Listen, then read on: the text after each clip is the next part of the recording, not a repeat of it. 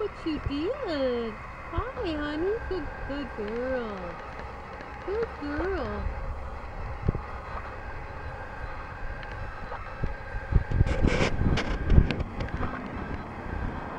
Look what I got for you. Look. Look what I got for you, baby girl. Do you want to bury this nut, sweetie pie? No, I don't want to bury that one. That's not the right one, Mom. I'm so glad you're here to visit me. I love you, honey. I know, Mommy. I love you, too.